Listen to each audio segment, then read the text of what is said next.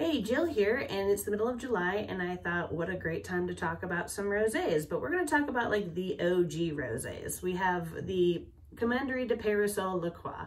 Commanderie de Peyrassol has been making wine continuously since the 1200s um, in Provence. However, this is actually an IGP Mediterranee, um, which means that they kind of went outside the, the AOP boundaries um, using kind of the same grapes, all the indigenous grapes.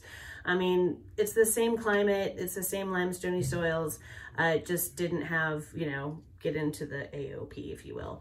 Um, so really great value for Provence style rosé, highly recommend it. It's wonderful stuff.